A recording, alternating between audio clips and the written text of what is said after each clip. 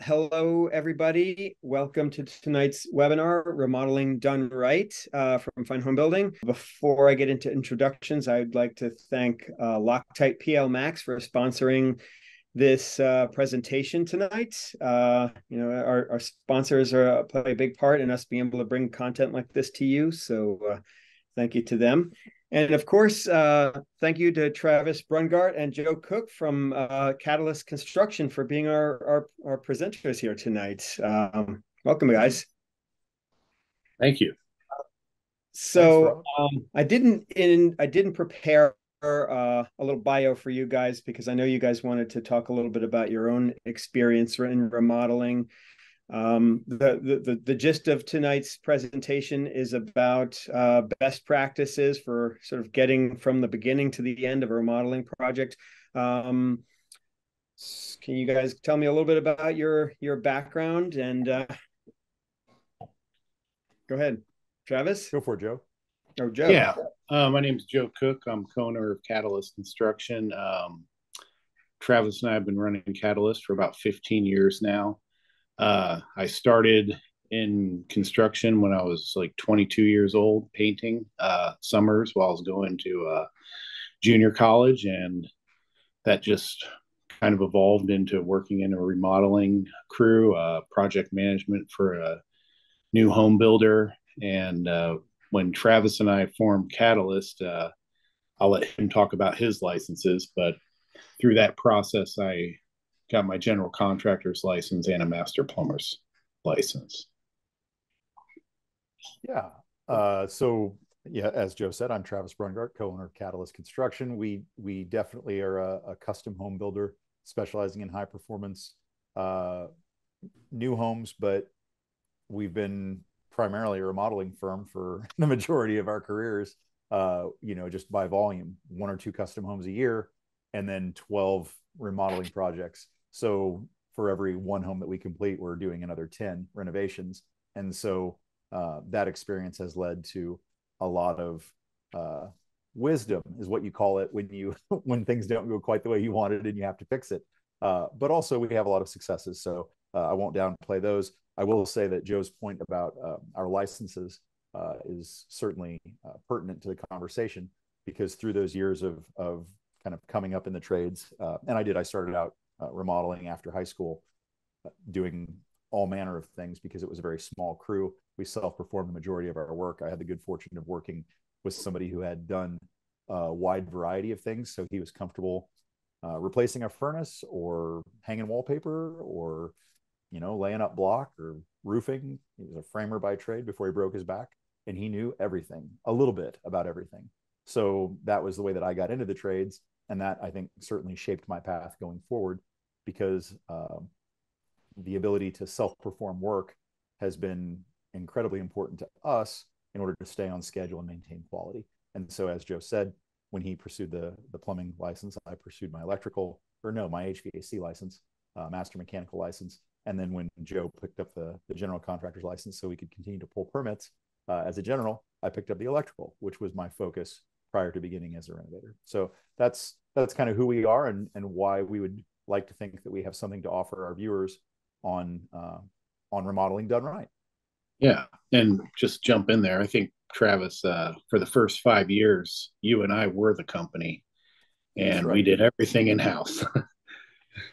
Absolutely, there's a, a lot to be said for hiring the right people, but sometimes we are the right people the idea of having trusted subcontractors uh, that you work with as your partners is incredibly important uh, because you can't do everything when you get to a certain scale. You know, I, don't want to I don't want to jump way ahead, but when we when we talk about renovation, a lot of times for us that means uh, additions, roof off, add a whole story, basement finishes, and things that are within the envelope are uh, a, a, little less time sensitive. But if you tear the roof off of someone's house and you say, "Me and my buddy Joe are going to frame this, we'll get it buttoned up for you in no time," that exudes a different level of panic than hey here are the nine guys that are going to get this roof back on in the next two da- two to three days.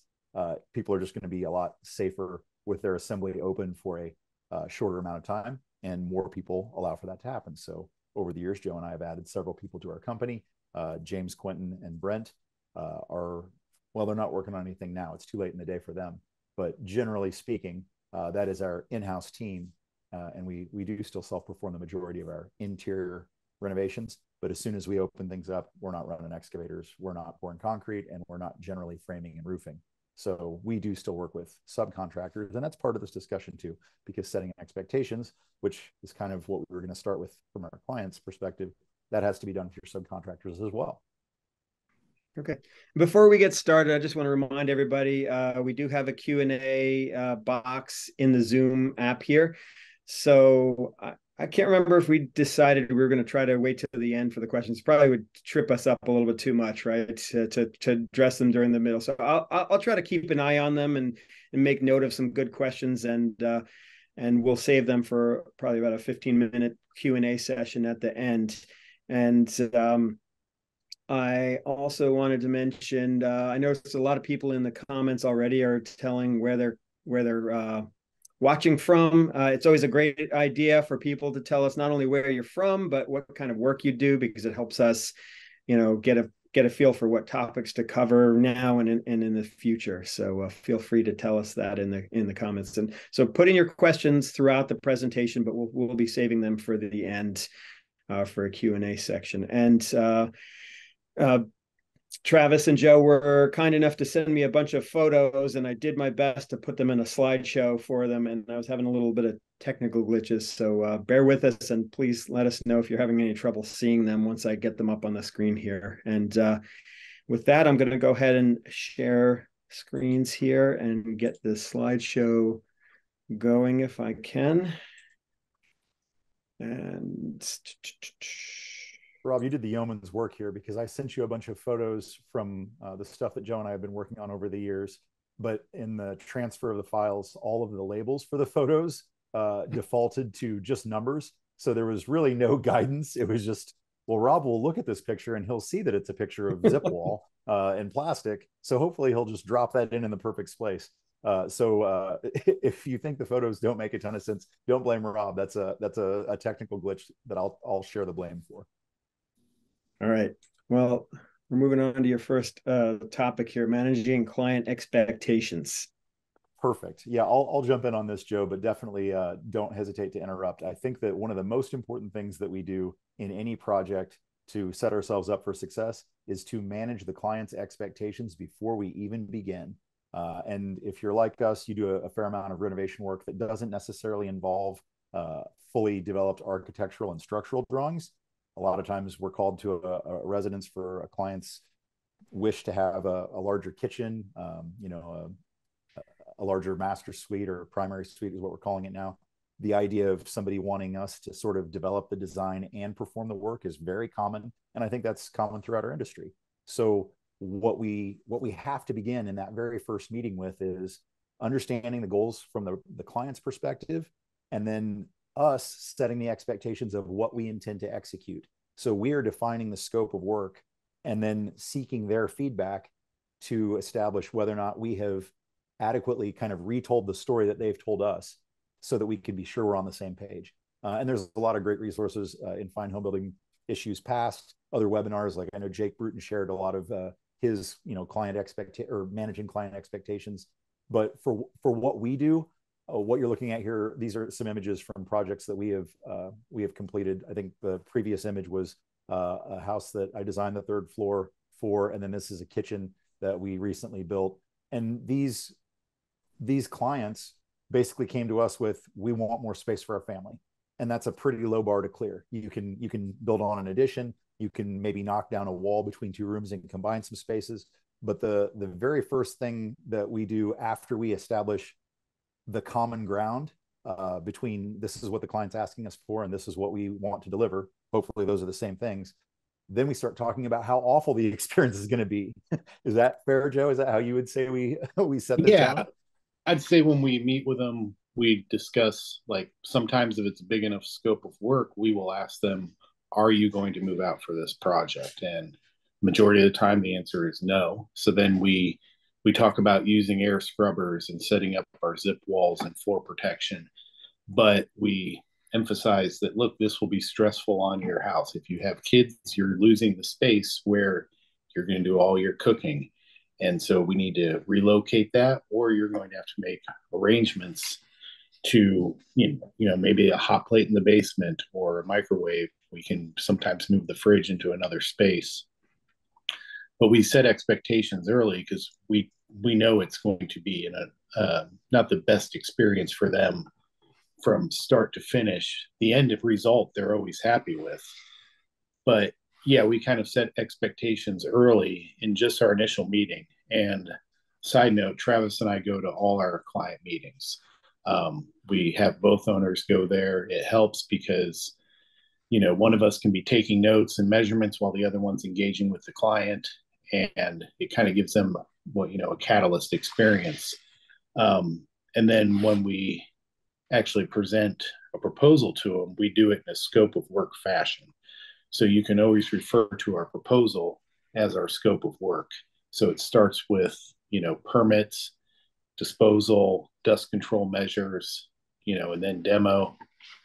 And so they, you know, if they're wondering what the next phase is, they can just refer to the scope of work.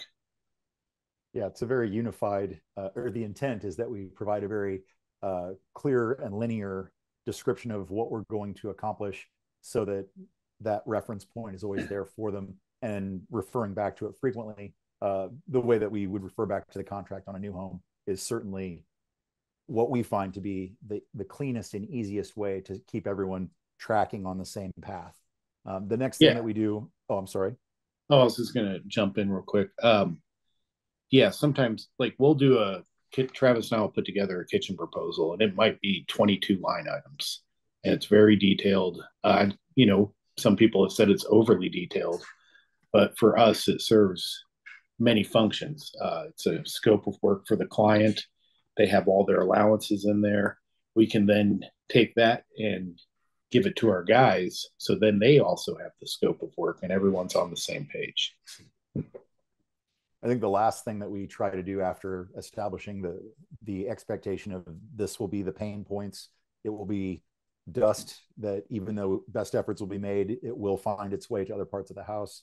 Even though we will work during normal business hours, your life will be disrupted. You will be unhappy with the the noise when you wanted to have a nice quiet lunch uh, at home one day or you know catch up on a podcast you will be irritated by the compressor and the pounding all those things that we do to talk about how unpleasant it can be the stress for your pets the you know the stress on uh, your schedule then we try to move on to this is what you have control over and you have a role in this too and unfortunately uh, or maybe fortunately i guess if you're looking at it in a bottom line way fortunately for us, uh, clients tend to want us to do more things than what they originally planned once we get started.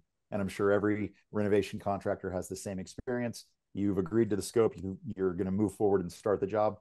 What always happens is, hey, while you're here, uh, can you also do the hall bath? Uh, if you're going to have the the plumbing off anyway, Joe is the master plumber. Can he please replace the dripping main valve? because uh, we've had a bucket under it for the last six years and it never really fills up. But it would be nice if you would just take care of that while you're here. And we say, absolutely. It's always easier for us to add it to the scope and the schedule before we start. That makes that uh, easier to maintain the timeline. Uh, but frequently that does not play out. It is almost always, oh gosh, you know, we're this deep into the project and you've already got a painter here. Let's just do the whole first floor. And obviously that's a great path to revenue uh, and and certainly good customer service to take care of your client. But we always have to emphasize everything you add to the scope adds to the schedule, and those delays are not our delays; they are your delays. So we're working on it together.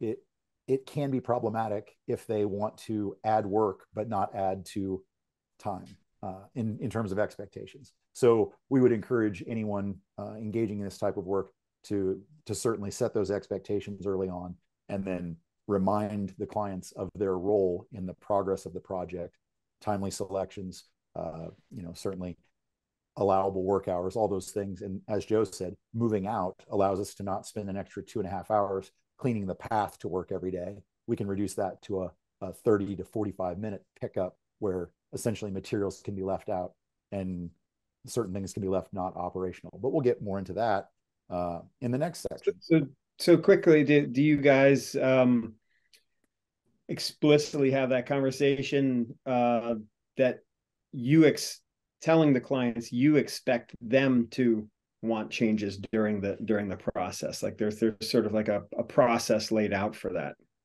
Certainly. It's a symbiosis uh, in, in, terms of we want it's a customer service industry that we're in. You know the the whole reason that we're brought out to the job is to make something that isn't performing the way they want or doesn't solve their aesthetic desire. We want to get it to that level. And so if there's if there's a potential for a change during the project to occur but that's going to result in a better outcome of them getting what they want that's kind of what we're here for. We we need to we need to be open to that. However we have to always remind them the change that you make isn't just a change. It's a budget change. It's a schedule change. And it it may have potential schedule impacts on our side that will potentially be prohibitive. You know if you wanted to revise something so substantially that we were going to delay the start on another project, that's something that is more uh, more discussion than just okay, we'll do that because it's a customer service industry and we want to make you happy. We have to still serve our other clients that we have commitments to, and so we want to make sure that that's clearly laid out at the beginning. You want to take this to get us going, Joe, on the site prep? How do we get a job ready for us to start work? Well, and this was a good one. Uh, this client did move out. We were doing her kitchen as well as her lower level basement. Um, but you can see we bought a lot of red rosin.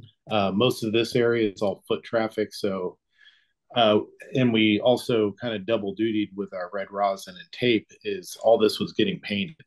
So we decided that we would go ahead and paint, tape it off like our painter would. So when the painter comes back or at the end of the project, it's pretty much prepped to go. Um, and so we specifically told our guys not to get the tape onto the trim that we were taping it off as we were going to prep it for spraying. Um, and this is pretty typical of most of our projects. We're going to come in, we're going to set up our zip poles. Travis and I, uh, we definitely never set out to own 20 pairs of zip pulls, but it's kind of evolved to that over, over the last few years. Um, and we just hit everything. We try to, you know, a lot of this is you're showing your customer that you care um, and then, like Travis said, the dust is going to make its way through. It always does. But you've done everything that you can to like reduce it as much as possible. So what's not shown in this picture is uh, we have a bedroom in like an office area. We went ahead and covered everything in the house. So her bed was covered with plastic, her desk, her dressers, uh, closet doors were taped off. And then, even though that we're not working in that room, then we would do the zip pull at the opening and really try to isolate our workspace from the rest of the house. Uh, it is more challenging when the client is living there. Um, and you just kind of have to, you know, sometimes we'll put in a zip door um, and we'll repair it 20 times throughout the project because it gets ran through by the dog or the kid or the client or us. Um, but it's part of something you need as a contractor to kind of factor that into your job. Because I believe that one of the reasons Travis and I we we really never advertised and we have a pretty good reputation is we go the extra mile. We vacuum up every day. We do the site prep and we try to be very tidy on our projects. And that that's really what this photo is showing because if this was an area that we were going to be developing dust in for you know from sanding or uh, demolition operations, uh, this would be you know tape sealed to the wall. We mm-hmm. would do a, a, zip door and a more substantial um, method of of isolation. This is the level of dust protection that we feel is necessary if we're going to be passing through. Like you can see that there are cabinet hinges on the counter there. There are cabinet doors on the floor. This is a, a one day demo of removing cabinets from the walls. So this is the level of dust um, dust migration prevention that we feel is appropriate for that. And then it still enables the client to you know pull it aside and move furniture in and out and do the things that they want to do uh, without us risking the damage to the walls that sometimes occurs when you do extended taping and sealing. Um, obviously, we're we're also managing dust in other ways. This is uh, our typical carry in and get started kit uh, of a shop vac for the dust management that Joe was talking about of cleaning up after ourselves. But more importantly, um, negative air machines, air scrubbers, uh, this is this is the one that we have. This company I don't believe is in business anymore. but uh, Husqvarna makes a really nice kit. Dri-Eaz is another one. Um, there are really good air scrubbers available that can run continuously on a job and literally just pull the ambient air through that filter media that you see on the face of that uh, and and trap it, capture it in that location. You can actually hook a discharge hose up to run a higher volume of air and exhaust, and that's what we would consider a negative air situation where we're actually depressurizing the work site. So once we've taped off and with plastic and sealed our workspace, uh, we want to make sure that the the dust that we're creating isn't in a pressurized situation. You know, you see some guys with a window open and a box fan in it. If you pressurize the job, you're actually forcing that dust out through your dust control measures into the rest of the house. What we want to do is depressurize our workspace. So we pull air into the air scrubber and exhaust it through that hose to an outdoor space after it's been filtered. So we're not dumping the dust out, we're capturing the dust on the filter media. Uh, there's a HEPA filter inside of that pre filter that you can see in the image there. But that is our, our primary means of dust control after we have sealed everything off. The other thing that we want to talk about is protection of mechanicals. Um, I don't think I included a picture for you, Rob, in terms of uh, providing coverage for returns, which we always are going to have to do. But this is a new mini split. This project was a, uh, an interior renovation where we added several mini splits to second floor bedrooms. And so you can see we've exposed uh, the work area that we needed in the wall, pulled blinds set up, insulated, and we're ready to begin our drywall patching. But before we even begin installing drywall, we do not want to introduce dust into our new product. This is a situation where the client has paid us good money to provide really good equipment.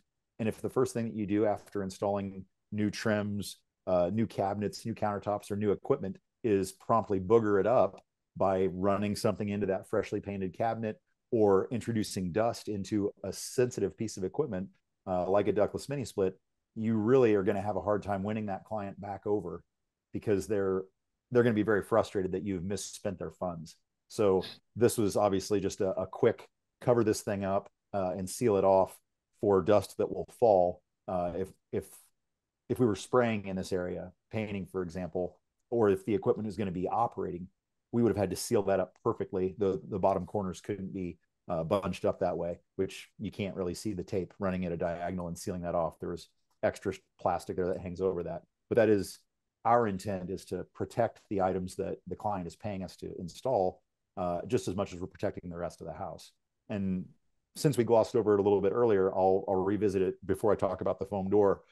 We, we view uh, floor protection as three potential outcomes. We're either going to do what Joe talked about earlier with the red rosin and tape. That is essentially a light traffic condition where we're not doing uh, demolition of plaster on a ceiling or setting a beam or we're going to be rolling a beam lift in.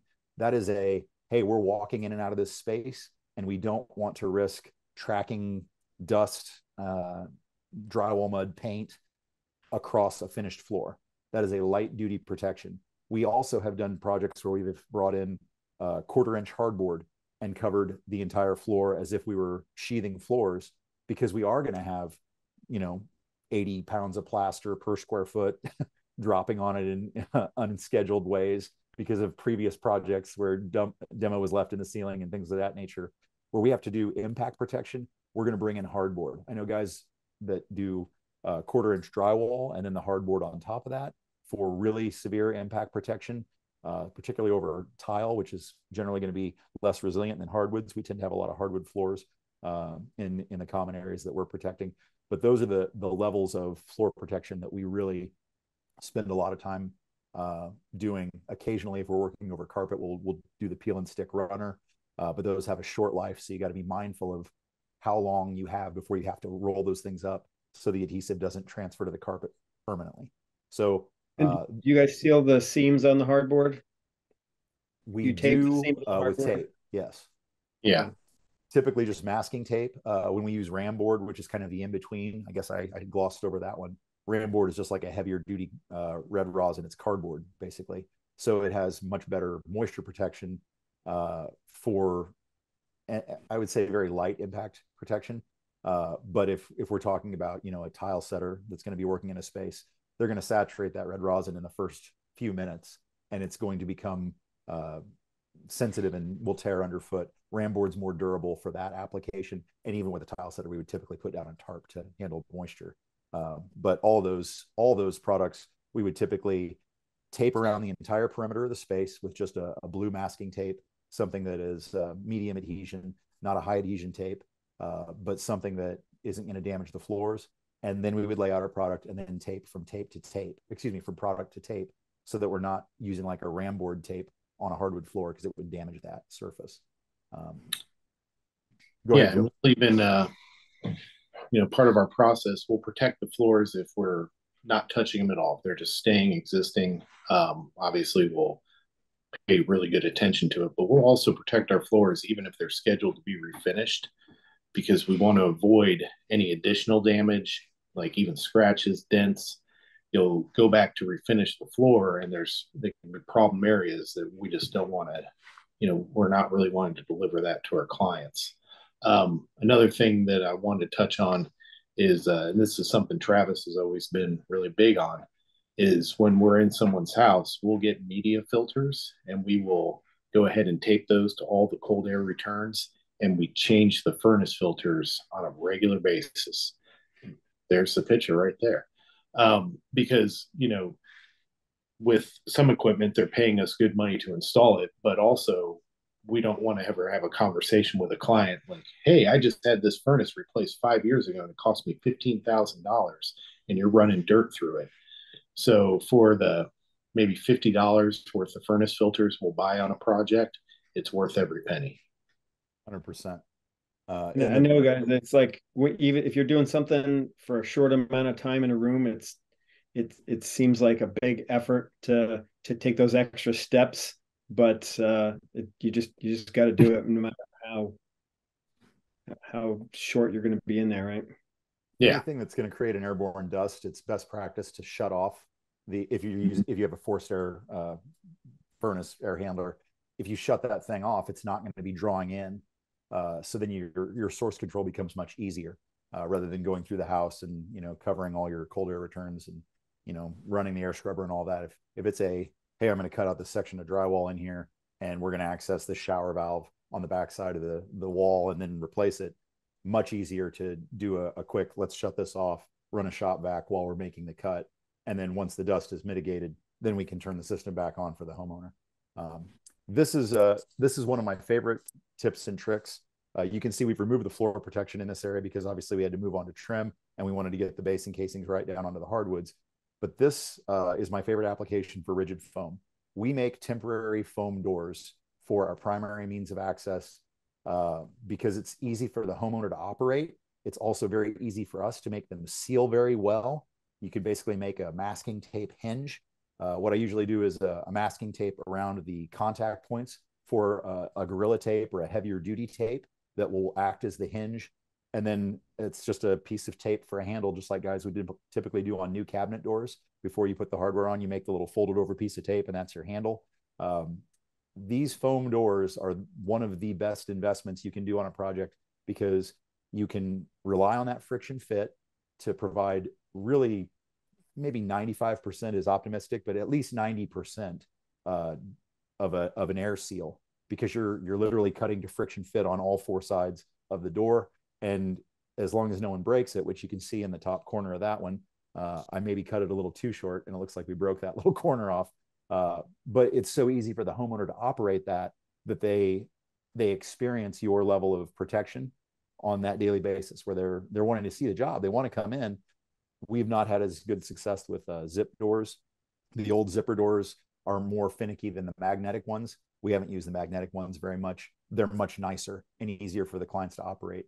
The uh, the zipper ones, you almost need to like stand on the floor, you know, on the lower section before you operate the zipper. And our clients have never liked those, but they really like the foam door because it operates just like a door and it's one handed and you don't have to fuss with it going up and down with the zipper. So that is something that I think is like a legit tip and trick. It, it's a you know an extra 30 minutes to make a door and once it's all masked in and done well we typically don't have to replace them for the duration of the project um, i mean i'm no doug horgan but that is something that i like to think uh, I, i've i've provided a good thing for our clients you want to talk through what Doug's doing here, Joe? This is pretty pretty good stuff if you're going to protect a, a stair and railing. Yeah, he's uh very nicely done there, Doug. Um, it looks like he's protecting the handrail, and he has the a runner on the staircase. Uh, I personally haven't used that one before, but um, I'd be willing to. It looks like he's doing a great job there, and but it's really, I think, just the overall what I'm getting from the picture is this is what the client wants to see. They want to see someone taking the time. Um, and what you don't want to do as the contractor is not don't factor if you don't factor it in then it becomes like oh boy i'm going to spend $300 on protection and then a half day putting it in. Just build that into your project and then you can take the time do it right it'll last the entire project. And it just kind of starts off to travis's point earlier it's kind of a miserable experience living through a remodel. So you're showing them the you know the very first or second day that you are taking the time to make their experience better.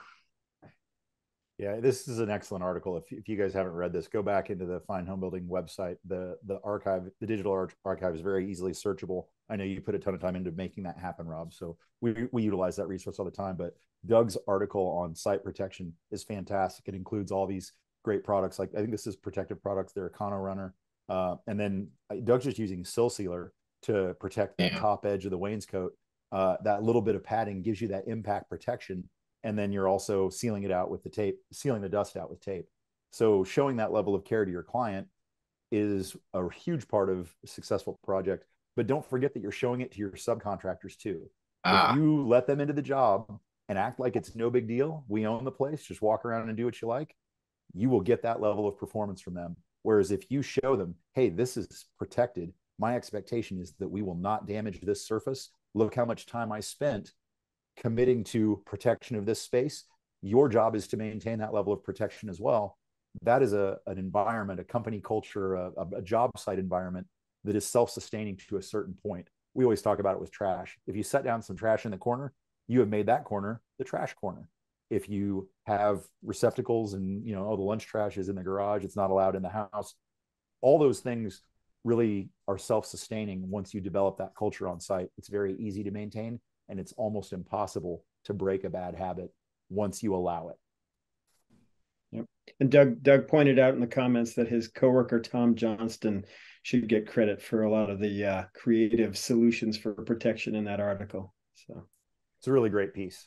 Uh, i think our next steps were about safety uh, in our selective demolition process we we do a fair amount of uh, reuse on older projects because uh, we're always trying to reduce our footprint.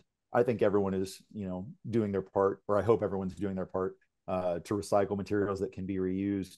Certainly, we've uh, done a, a lot of runs to Habitat ReStore over the years. This is our crew, James and Quentin, removing cabinets on a project that uh, found their way to a new uh, a new home uh, that allowed for them to be reused because sometimes the stuff that isn't good enough for somebody is a huge upgrade for someone else. I have some really nice cherry cabinets in my garage that came out of a job we did about 25 years ago that uh, don't belong in a garage, but I couldn't bear to see them go. That's exactly what we're doing here. We're trying to minimize what we put in the landfill by doing some careful removal. There are a lot of things in most projects that can be reused even on the same project if we're not talking about donating appliances and tops and cabinets to habitat we we are definitely frequently tasked with hey we've got to match this trim because you know you're renovating this space but we don't want to make a departure. And this is something that they haven't made planer knives for for you know 70 or 80 years.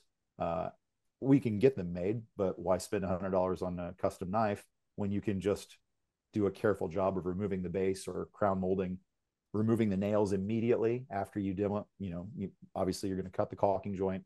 And as you carefully pull it from the wall, uh, you can then go ahead and remove the nails, label it, uh, and bundle it with other like crowns nested together, place it in the garage or the basement or somewhere on site where it won't be in the traffic pattern, protect it for reuse. And you really, um, you're doing the right thing for obviously the planet, but for your client, because if they care about it and they want it to be the same, you again can show that care and and limit the amount of uh, time you waste trying to source materials that you've already got. Uh, that's true with with structural elements too. We've taken out, um, you know, common project, redo the whole first floor of the house. We want to open up the kitchen, remove a bunch of walls, saving materials from projects that are frankly a higher quality lumber than what we can get at the store today. Uh, it just makes good sense. We had a project where we uh, we basically gutted the whole first floor, and I saved all these two by ten headers because you know that's what you do. You use a two by ten, whatever the opening is. It's a two by ten header, regardless of the span, regardless of the structure. Of course, we know that to not be the case, but there's no reason to go throw the two by tens, the labor of those headers into the dumpster, and then labor again to go to the store and get more two by ten for headers. We just cut them down and allocated them to the proper places on the job site.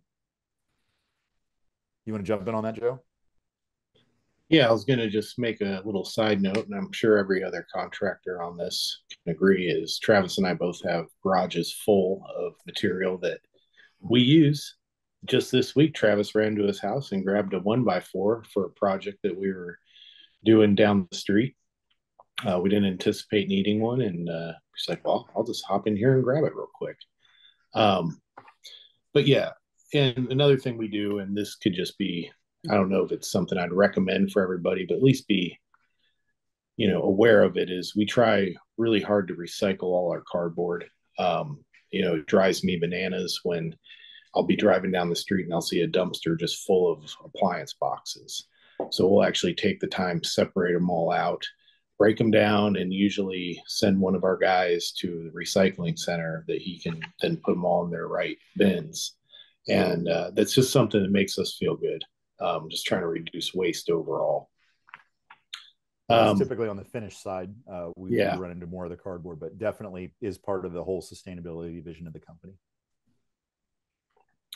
Yeah, and this one here, um, I mean, it's we're demoing, and so when we get into demo, we have guidelines for our crew, or if Travis and I are doing it, is you label all your wires you cap the plumbing and try to just cap it all at once and let the homeowner know, especially if they're home.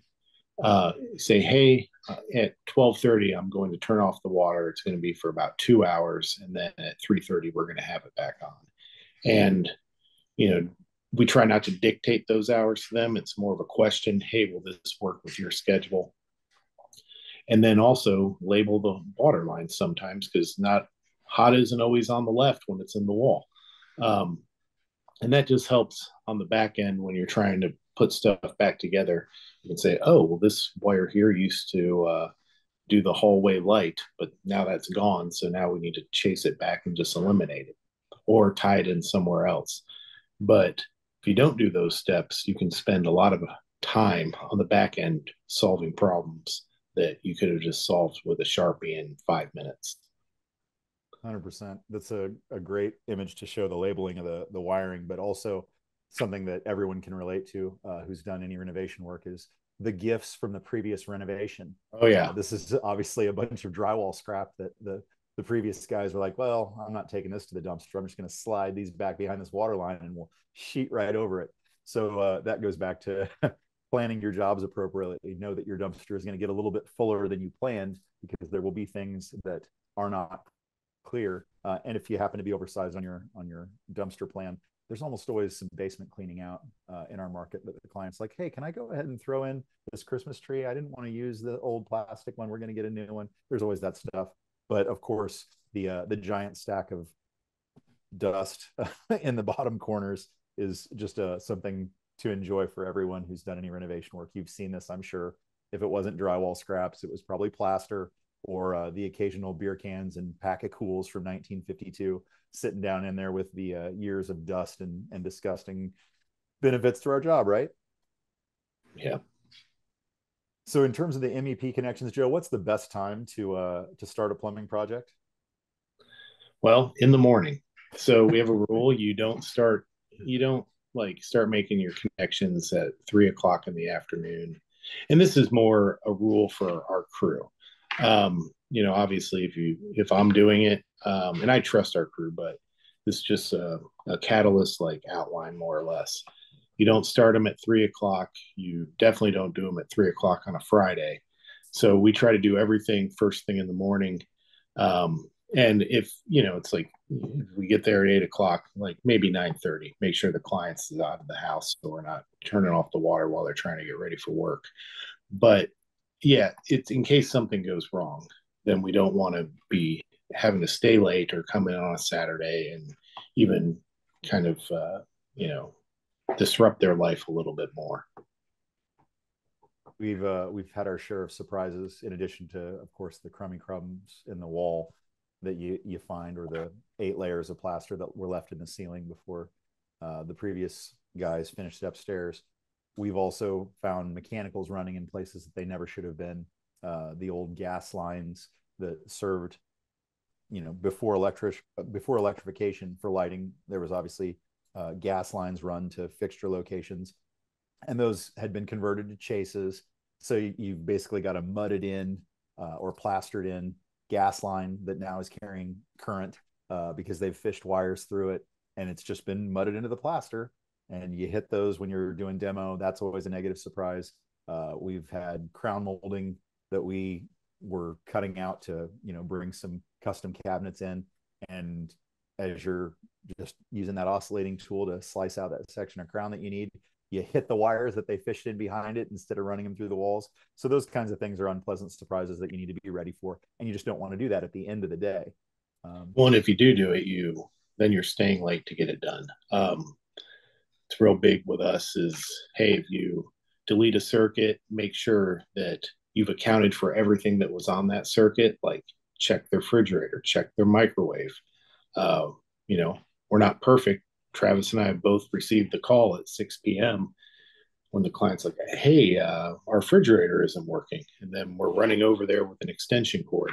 So you can never outguess it all, but it's really good to have these policies in place so the crews that are on site can, you know, you're trying to present them for success. This was a fun one. yeah, this is temporary connections. Like you saw the SharkBites on the end of the copper lines in the previous image and the labeling on the electrical lines. And um, obviously it's pretty easy to wire nut a couple of uh, conductors back together to keep something connected. But this was actually noteworthy because it was our client who was like, yeah, the, the upstairs bedroom, my daughter's bedroom is, uh, it, it's not getting get any heat while we're reallocating the ductwork but I have this flex from my work. Can I can I use this flex to connect it? I was like, absolutely, this is great because we would have to get, you know, some eight inch flex or run a couple of uh, six inch flex lines, and he had this uh, this poly line that was basically super durable flex duct for supplying air to uh, workers in in uh, confined spaces below grade. You know, manhole. I think he worked for AT and T or, or Southwestern Bell, one of the the Bell companies. And this is a, this is a supply hose for providing fresh air to a, a, worker in a confined space. But he had it on the truck and he's like, Can you connect this up to get the cold air to my daughter's room? It's like, Yes, this is perfect. This is way better than what we would have with a piece of foil that the first time somebody walks by with a board and catches the edge of it, it's going to tear open. So uh, there are solutions available, but you need to be thoughtful because as soon as your client has to listen to a complaint from their child about how they couldn't get any rest because their room was hot because we're dumping all the nice cold conditioned air into the workspace, uh, you will want to rapidly revise your your plans and uh, correct that situation. Um, before we do structural, one more note on uh, temporary MEP. I wanted Joe to mention the dangers of recharging plumbing lines because of the migration of whatever is loose in the lines. You remember at Rowdebush, Joe, when uh, you oh. ended up basically replumbing their upstairs bathroom? uh, as a function of the calcium deposits floating around and all finding their way to the top valve. Prepare yeah, that, right? We uh, we were doing a basement finish, and the existing copper plumbing was in really bad shape, and it didn't really. It appeared to kind of not be as bad up in the walls. So we re- redid all the plumbing on the basement, and then we had all the tying into the lines that were feeding the second floor and first floor. And I think you helped me with it. It probably took us the better part of four or five hours to do it. And we charged the lines back up, and the client comes down and she's like, Well, it seems like all my sinks are, the water flow is really slow. So I went upstairs and yeah, I didn't end up replumbing. I ended up having to pull the screens out of every faucet in the entire house, and they were all very dated. So I couldn't just run down to the local plumbing supply store and pick up the wrenches. Um, we got really creative. I had some mini needle nose trying to get them out, but just in that, yeah, I'd say four or five hours, the amount of calcium that was in these screens was I was it blew me away. I wish I would have had the thought to take pictures of it at that point, I was just really frustrated, and uh, it was well after working hours when we finished. Um, but these are things to take into consideration. So now we kind of will talk about that before we do anything major because uh, this was probably a 75 year old house. So you're kind of at that that age where you can have issues like that if you want to protect yourself from liability, you definitely want to explain to your clients that the systems that you're working on are the systems that you're liable for. The mm-hmm. the impacts to the other part of the house. In an ideal world, we would have been able to bill for that time because you basically rebuilt three of their faucets, uh, or I think even I thought we had to replace one. But whatever the case, you're you're exposing yourself to liability when you work on the plumbing system because their expectation is, hey, you know, you worked on it here and now I have a problem here. That's your problem well, that's true, but I didn't put the calcium in the line, and there's really not any way that I could have mitigated that other than to go around before we turn the water back on and remove all the screens and all the plumbing fixtures in the house, which isn't really the best choice, especially in a shower valve assembly where you could potentially, I'm going to break the tile off trying to get this caulked on uh, yeah. cover, and you know that's just not a, a fair thing to do. We've we've had clients before that you know, oh, we tiled the entryway, and now your door the doorbell doesn't work like, well, okay, I, I was working in the entryway, but I'm not sure that I could be liable for the doorbell not working as a function of my tile work. So these are things that you just kind of want to be mindful of as you're working through a project with a client. Let them know I can maintain the quality of my work, but I can't be liable for the entire house around me when I'm not working on the entire house. Let's be reasonable and have that conversation be ongoing so that everyone has reasonable expectations. Um, you know, you know, you guys said at the beginning about how uh, you know, it it takes takes years of experience to be able to anticipate all of the problems that you that you see in a house like this. And uh, one thing you were talking about the gas lines earlier that were obviously defunct. Uh, one thing I've seen come up in the in the news a couple of times in recent years is people who assumed gas lines were intact and then went and connected something to them, not realizing that someone had cut a line further down the line. So you always have to do your due diligence to inspect the existing conditions as much as you can but uh, there's some scary situations out there if you're not careful. Yeah. It, there's no substitute for experience but certainly there are a lot of resources doug's articles all, all the stuff that we've found on the website uh, and obviously in the magazine over the years. There, there's a lot of leadership out there and uh, you're not walking in blind, but you can certainly walk in better prepared if you've uh, done a fair bit of reading and uh, and talking to your talking to your peers in the industry. That's how we ended up with a, a pretty good strategy on structural analysis, um, going all the way back to the initial project uh, meeting when Joe and I are walking through a job. We're identifying walls that are different. Uh, when they're talking about, well, we really want to open up this kitchen, you're like, well, great, but do you notice how this cased opening is eight inches thick? Like this this one by eight is concealing a stack that's behind this wall. So yes, I understand you want to take out this wall and open up this space, but we are going to have to reroute this plumbing. And you get the well, how do you know there's plumbing in there? And well, this is how I know there's no reason for this wall to be thick unless the stack is in here. And also, if you didn't notice, this side of the cased opening is six feet wide, and this side's only three feet wide. I'll bet you a dollar there's a, a trunk line running HVAC to the second floor through there. So we need to plan for those sorts of changes uh, with really at that point it, it needs to be a, a properly designed uh, set of plans usually it involves joe and i headed to the basement to see if we can track down all of these utilities and mechanicals that are running through the space and then we can make the assessment of okay we can bring in an engineer. They can design a beam to locate in this put uh, in this place so that we can open up this wall and we have an access point to bring the stack up over here or we can re- relocate this uh, this ductwork. And that's that's one of the things that we we certainly want to be ahead of when we're pricing the job uh, because you never want to promise something that you can't deliver. Um, this is something you can never plan for. The 16 different people touched it before I got here problem. This is a, an image from a kitchen we did just this last year that involved what I have to assume is at least four different iterations of a bathroom remodel. And the initial bathtub installation required cutting out what had to be 80% of the truss of the joists that were supporting that tub and mudbed tile floor.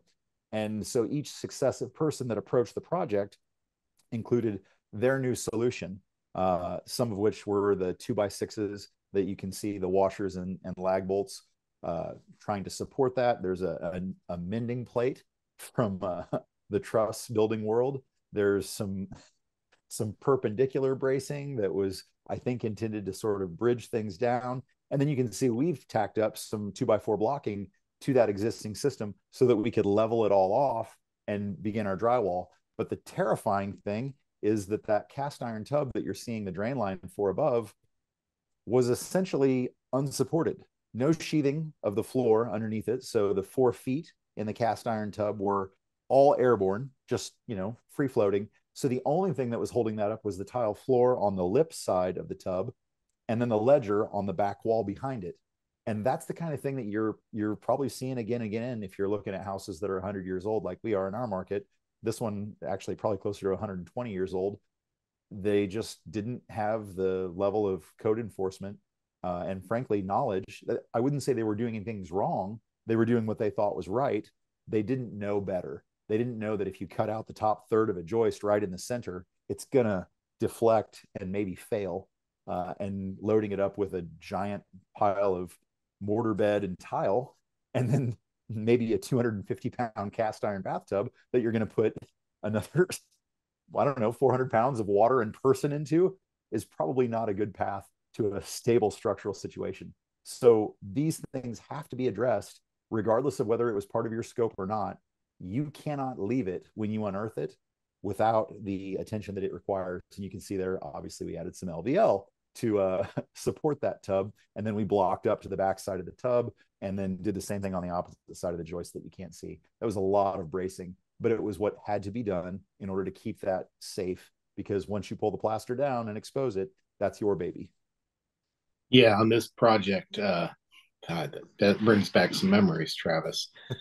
So not only was the tub not supported after we removed the ceiling, our guys were working in the space, and um, the client was taking a shower, and water was literally dripping onto the floor in the kitchen space.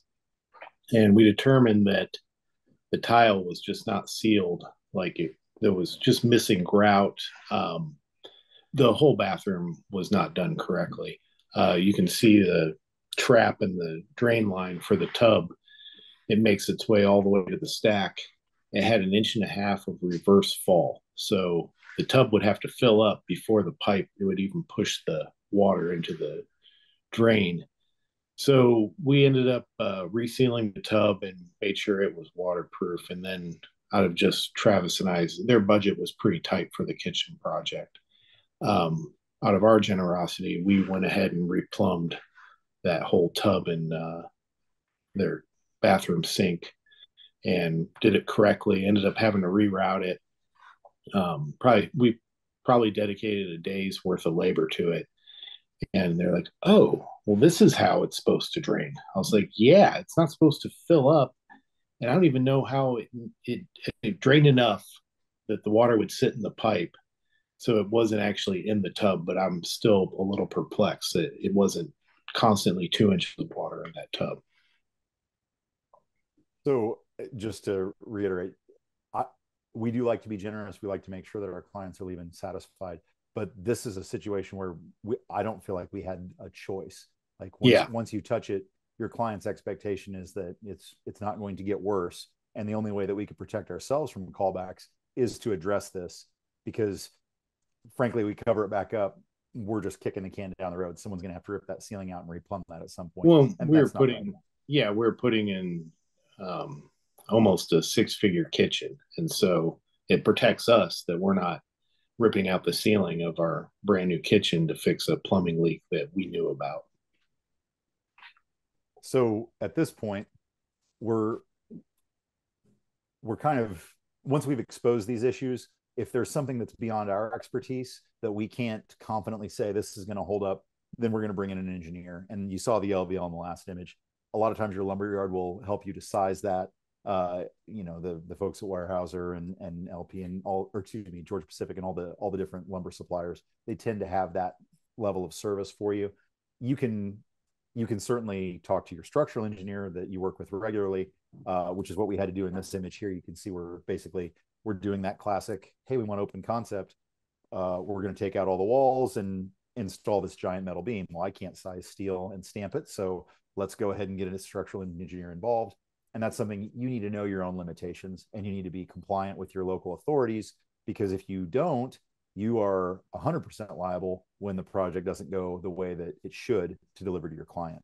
So uh, bringing in a steel beam is something that uh, Fine Homebuilding has you know done a number of articles about over the years uh, as far as removing walls and combining spaces. So you can refer to those authorities. But generally speaking, our process is you leave the walls in that you can until you have to start cutting out uh, structural load path, and then you're building temp walls to support either side you raise the beam into place. Be smart about this, folks. Don't be a hero.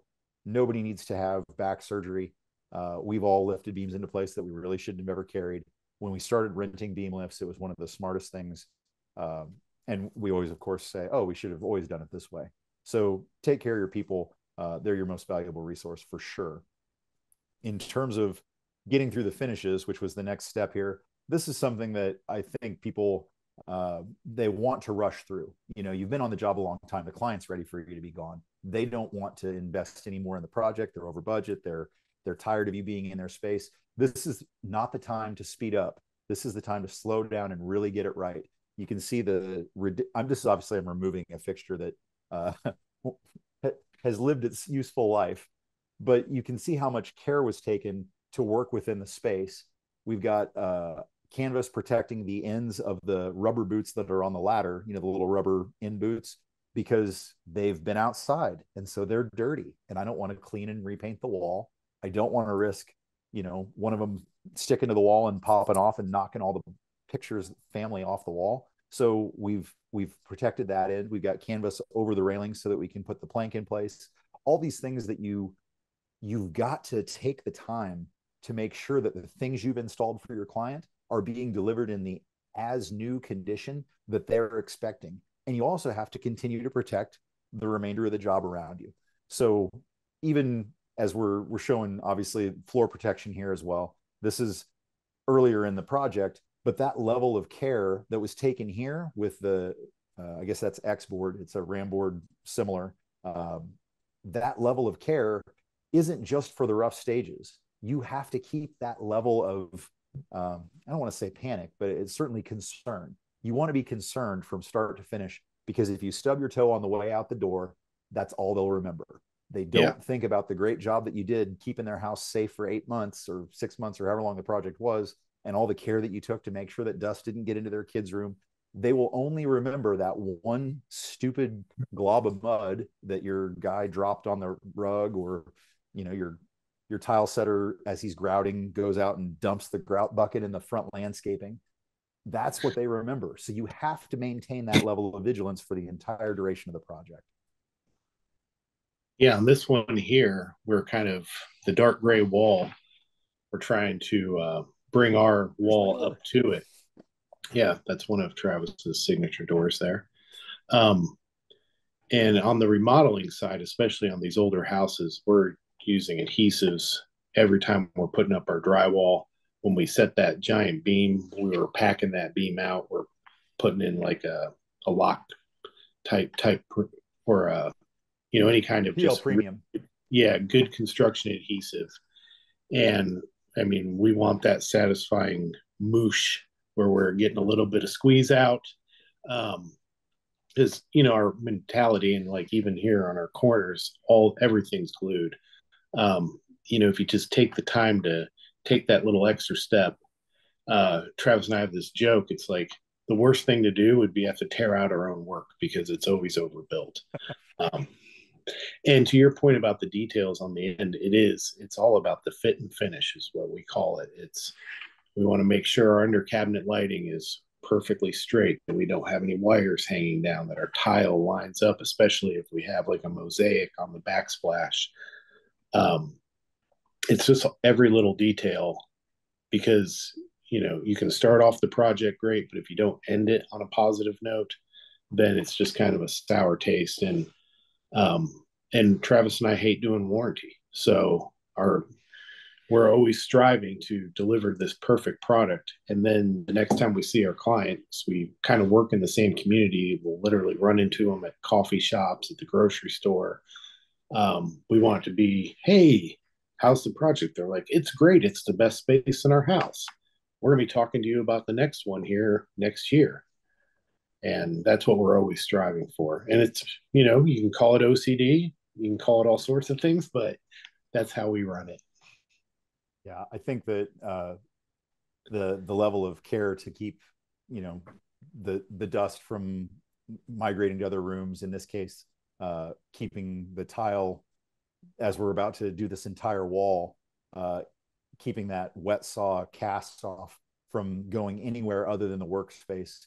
Uh, it shows a level of respect and care that our clients certainly expect. And frankly, it's not that hard to do. I mean, this is what maybe forty dollars in in PVC fittings, and then the level of time and investment in plastic. It, it's frankly a pretty low bar to clear to differentiate yourself from your competition potentially. But really, like Joe said, it's it's to reduce your liability and your potential callbacks. Uh, it's the same as screwing down a floor, or you know, in our case, um, a lot of these homes have limited access, but usually we have unfinished basements in our market and we can we can visit from the underside of floors uh, or even if we're tearing out a ceiling we can address second floors rather than uh, plugging and screwing down the hardwoods in the upstairs and really changing the look of things we can we can introduce a a, a toe screwed approach through the joists with some some pl premium or other uh, high quality sealant uh, excuse me adhesive to really lock those things down. And then you're providing not just the the care for the finished appearance but you're also improving because we had access to it why wouldn't we fix that? You're you're providing a better experience for the client long term and that's going to give you the the opportunity to continue to work in in these neighborhoods again and again because of the client referrals. So i think that pretty well shoots through the process from start to finish. Uh, if there are questions i think this would be a good time to approach them but uh, if you if you have other things you wanted to cover robert joe i'm not i'm not trying to run the show. I just i feel like we we hit the outline and i don't want to take people's time all night. Yeah, no, I, I, I think you guys got through the whole process based on the outline that you were that you shared with me. Um, so we're we're getting on in time here, so maybe we should jump in on some of the questions. Let's do it. Um, so uh, Peter asked, uh, "How do you do your as-built measurements on a job site?" That's great. Uh, one of my least favorite things is opening a set of plans and say contractor to field verify all dimensions. I'm like, oh man, that's pretty rough. I, I feel like if if we can't measure, we can't design. Uh, but I will yeah. say that the way that we handle uh, all of those measurements tend to be taken multiple times. We're we're going to go ahead and check the the plan if there was one provided against what we see in the field. If we're making a, a a variation from that or you know deviation from that, I should say, then we're we're certainly clearing that with the client. I'm not sure I'm answering his question accurately in terms of as-built dimensions. If if it's a, a situation where we're we're going to change load path, then we have to obviously get our structural engineer back involved, and we have had that happen a number of times where they thought that you know you know the roof the roof is bearing here, and so we're going to have to add this triple joist to pick up that load, and we have had them back out to say, hey, you know we've we've unearthed the reality of the situation and we actually have load path running the other way for whatever reason. They changed the joist directions. And so uh, that's something that we would certainly always want to bring in the design professional if it's going to change uh, on, on a permitted project where the engineer has liability they've stamped a set of drawings. That's something that's very important to be respectful of your design professionals and involve them uh, in that way. I hope that answers the question. Yeah. Uh, before we jump to the next question, I just want to remind people, just in case people are leaving before the Q and A is over, that this presentation has been recorded and that we will be able to put it on the website in a couple of days at finehomebuilding.com slash webinars and that's again where you will also uh, check in regularly to see what other upcoming presentations are coming so Um, Michael asked when taping floor protection and dust protection uh, to floor and wall surfaces, um, are you concerned with the adhesive of the tape uh, damaging any uh, existing surfaces? That can definitely be a concern. Um, what we'll do is we'll make sure all the surfaces are clean first, clean, dry, and then we'll typically use like a scotch uh, or a 3M blue tape uh, with the 30 day clean. And it's pretty rare that we've ever had to go back with like goof off or anything and kind of get the, the adhesive off. Um, and yeah, so if we're taping off something a little bit more valuable, another thing we do is we tell the clients if it's uh, a remodel within their house, hey, if you have anything on your walls or anything that's very precious to you, let's go ahead and box that up now and not leave it up. Um, I don't think we've had as much issue with the floor finish uh, as far as we tend to have older polyurethane uh, yeah. finished floors. So the delamination risk is actually less there. On newer homes where they've already been refinished, uh, especially a waterborne finish, I think we've uh, been a little bit more uh, careful. We like the G tape products. They're yeah. Um, they're they're more useful in those um, more risky situations. But we have had a number of projects where we we taped plastic to a, a wall or trim finish. Usually it's trim that wasn't prepped well, and of course now we're repainting the trims because the adhesive of the tape is stronger than the adhesive bond between the primer and the paint uh, because of a lack of preparation in the, the paint from way back when. So it is important to be mindful of that. And using a, a lower adhesion tape for that base taping is a, a, good strategy for that. We have found, particularly with Ramboard and the thicker floor protections that have a, a memory, if you don't use a higher adhesion tape on the base taping, because as I said, we we basically tape the, we clean the whole floor, uh, wiping it down at the edge, and then we tape it with just a wide two inch or at least inch and a half blue tape, like Joe's saying. Then we lay out our floor protection and we're taping the floor protection to the tape. That allows us to be very detailed in the application of that perimeter protection and get a really nice wide surface area of bonding. And then we can be sloppy and fast as we're taping our floor protection down. But those boards that have a memory like RAM board, that want to come up, we we will overcome the low adhesion tapes and undo our fine work. So we tend to use the higher adhesion tapes in those applications. Okay. Um, Andy was asking, uh, how do you feel about homeowners wanting to uh, be involved in any of the process, like particularly demolition he's talking about? Oh, you want to tell the Peretta story?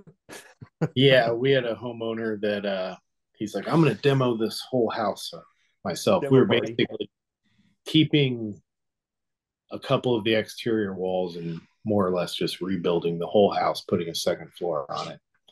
So they had a demo party. It was supposed to be on a Saturday. I think it started at nine. By eleven o'clock, he was he was in the ER, um, stitches and all. And then he recovered from that. he was just a real active guy. And he's like, I'm going to demo all the tile in the entryway. Well, we're sitting there and we're working, we're like pouring foundations, and we look over and he's just going to town with a sledgehammer. And he ended up breaking the subfloor, damaging the joists. It's like, yeah, you caused probably double the amount of work by saving by doing this. And um, his wife was like, just kind of like, whatever, just let him have that, and we'll pay to fix it. Um, I think, yeah, to answer your question, that would be a kind of a case by case assessment. We, if we're going to let our clients do anything, um, we're like, you can paint it yourself, but that also includes the prep. Um, if they want to take time and provide, we'll kind of give them an outline of like, okay, these are the shower valves we recommend. And if they want to go do their shopping, we can they can save money that way because we're not charging them our time to pick up their products they can deliver their own tile um, so we try to find ways like that that is a little bit they're still involved but they're doing less critical work. I think that's a good way to say that, Joe. We we've frequently had clients that say, "Well, we can't quite make budget. Is there anything that we could do from the scope that would save us money?" And we used to let clients do more to try and cooperate with that. But um, they would tend to be dissatisfied with their own finished outcome. Like we would have clients that wanted to paint. Like almost everyone has, you know, painted their dorm room in college or whatever it was. People feel like they can paint. And a lot of them can, but many of them don't understand the amount of prep that goes into a quality paint job. So on a renovation, maybe a basement finish or something, we're like, hey, let me paint the basement bedrooms. We're we're probably going to let them do that. It's their house, and if they want that level of finish, we're willing to accommodate that. But for things that we are liable for, obviously, because we're licensed in all the trades, it's all on our permits. We don't let clients do their own electrical, plumbing, HVAC, uh, certainly not structure. Obviously, Joe told the demolition story. There's a very limited amount of things that we think it's a good idea for the client to do themselves. But a lot of our clients are professionals. Uh, we tend to work for a lot of architects and engineers. Certainly, they're working on their own projects, and that's a, a successful path. Uh, landscaping, things that we're not really adding value to. If the homeowner wants to take that on, perfect. Yeah, please do. Uh, save your budget.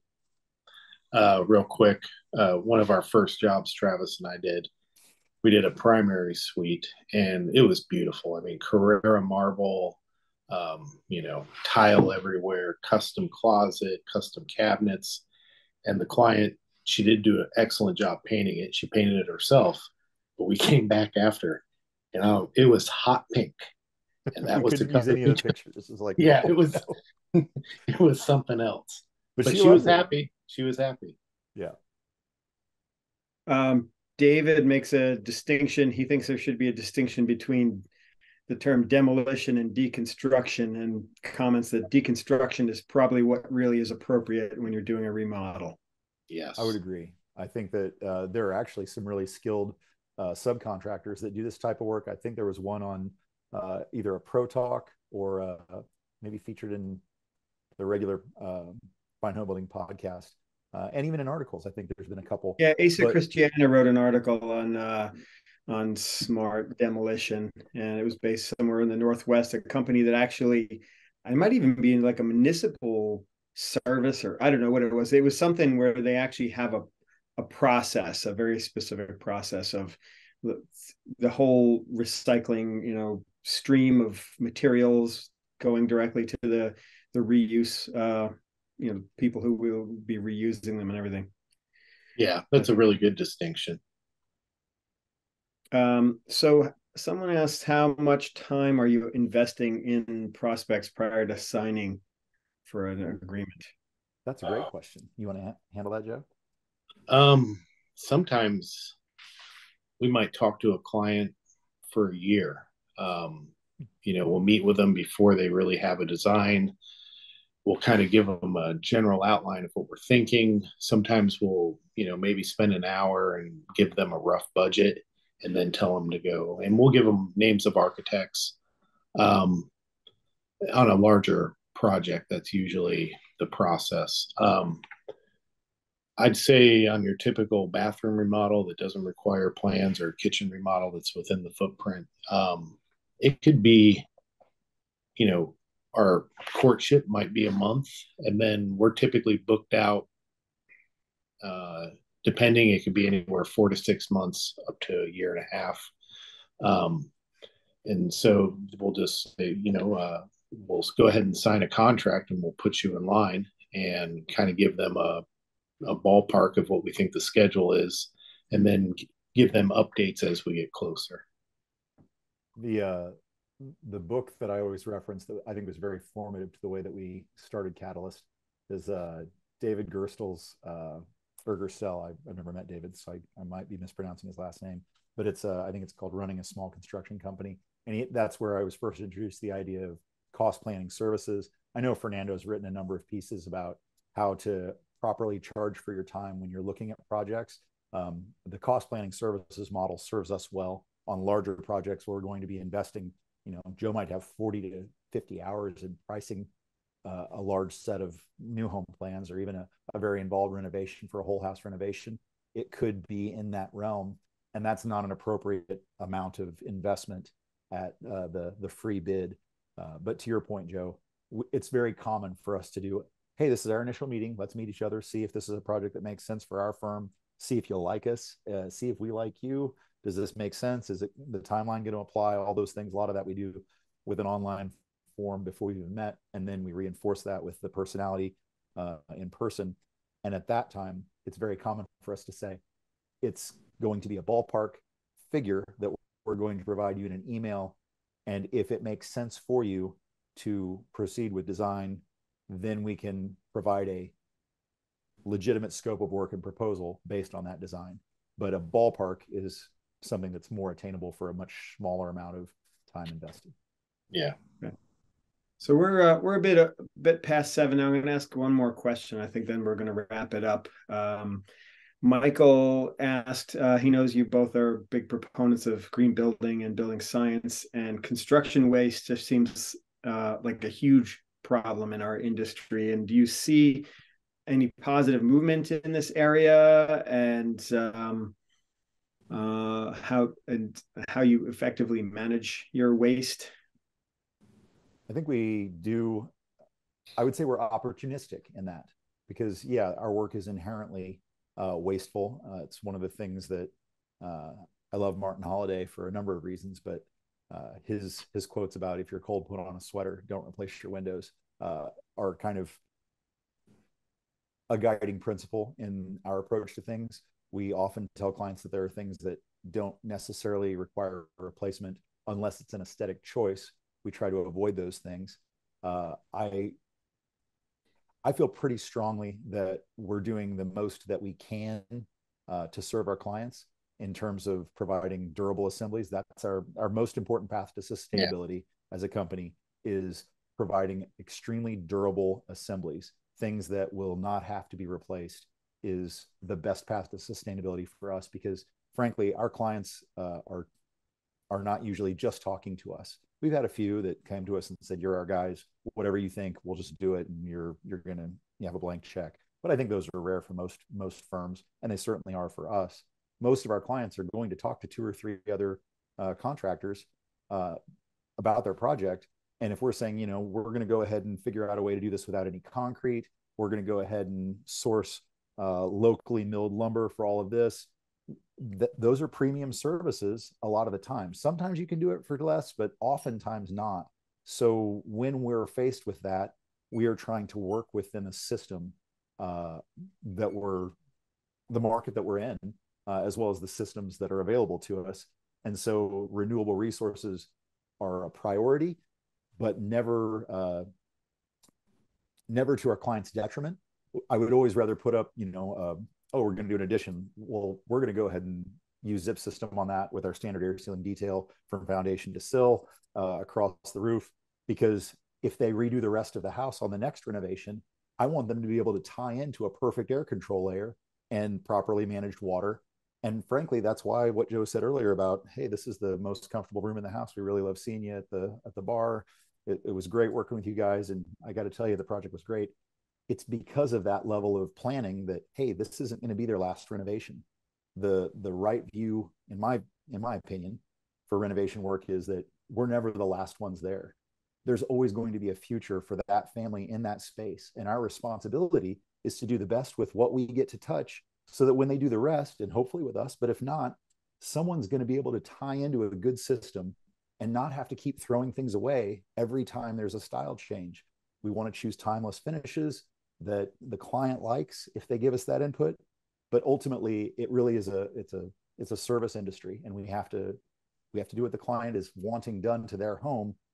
We just do it our way and that usually involves materials that are going to remain very durable and provide service for a very long time well i think that's actually a, a perfect way to wrap up this uh, conversation travis so I'm glad we had that com- that question last, and uh, I want to thank you guys for a great talk, a great insight into the way you're you take care of business because I know you guys do such a wonderful job. So uh, I know you're an inspiration for for a lot of other people who are trying to do good work too.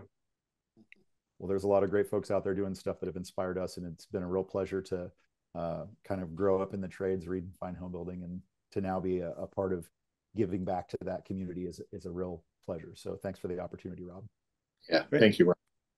Okay, and uh, again, I'd like to thank Loctite PL Max for sponsoring tonight's talk and remind everyone before we go, again, go ahead and take a look at finehomebuilding.com slash webinars in a couple of days, and you'll find a recording of tonight's presentation. Thanks, guys. Thanks again. Have a great night.